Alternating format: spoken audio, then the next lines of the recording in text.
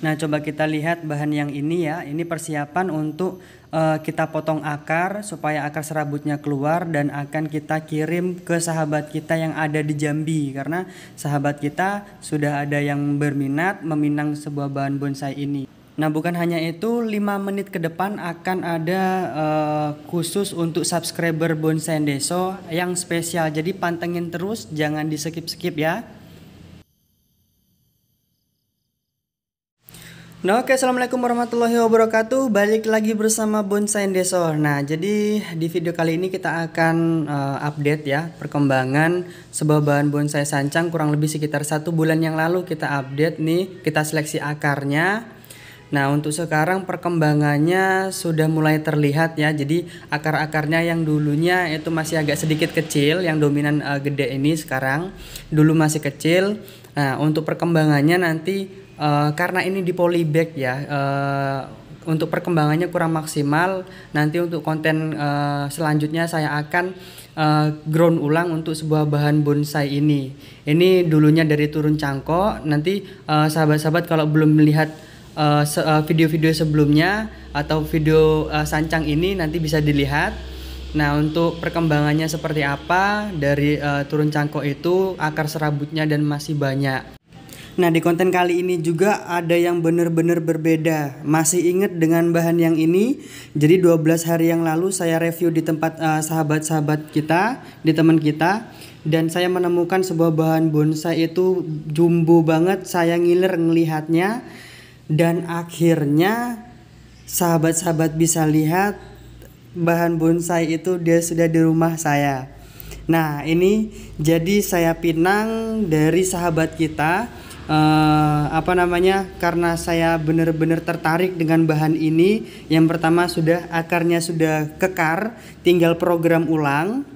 Enggak kalau dia kemarin kan dia masih di pot nih sekarang sudah saya bersihkan. Nah ini untuk diameternya bisa dilihat dari tangan saya pun uh, lebih. Ini kurang lebih sekitar berapa ya? Sekitar uh, betis orang dewasa lah. Ini pasti lebih lebih gede lagi kalau untuk menurut saya pribadi uh, bahan sancang ini karakternya udah dapet udah terbentuk tua terlihat dari bekas goresan-goresan itu sudah mantep banget udah uh, apalagi udah gede ya udah udah besar menurut saya karena uh, saya ini pemula jadi bahan sebesar ini menurut saya sudah jumbo. Ya mungkin di luar sana juga banyak untuk bahan-bahan seperti ini yang lebih besar lagi itu uh, banyak cuman cuman bagi saya yang saya uh, orang baru pemula main bonsai itu uh, jumbo Oke, seperti di awal saya mengatakan bahwa di konten uh, kali ini kurang lebih uh, 5 menit ini akan ada yang spesial khususnya uh, bagi sahabat-sahabat Bonsai Deso atau subscriber Bonsai Deso.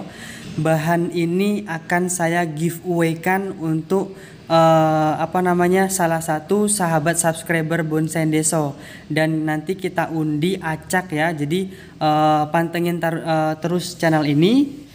Jangan lupa di like sebagai uang parkir karena satu like dari sahabat-sahabat semua itu sangat berarti dan sangat berharga bagi saya.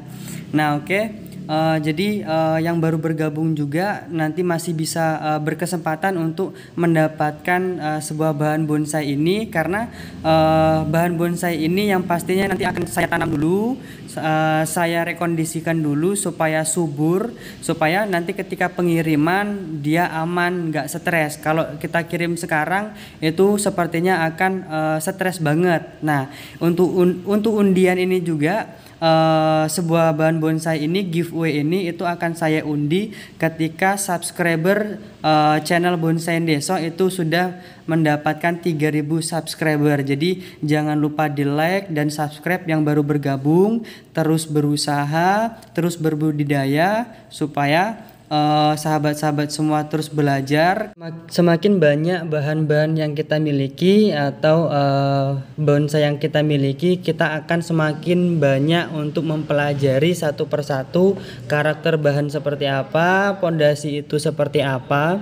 Kalau di uh, channel ini itu kan yang mengutamakan tetap dari pondasi awal atau perakaran dulu. Kalau untuk masalah di atas itu seiring bertambahnya pengalaman sahabat-sahabat itu pasti uh, apa namanya terus berkembang. Jadi jangan patah semangat, Jangan pernah menyerah, buktikan karya-karya sahabat semua. Jadi uh, kita bermulai dari nol, benar-benar dari pemula kita buktikan kepada uh, semuanya bahwa kita juga bisa. Kita semuanya berawal dari nol semua. Oke, cukup sekian. Salam dari Bonsai Deso. Assalamualaikum warahmatullahi wabarakatuh.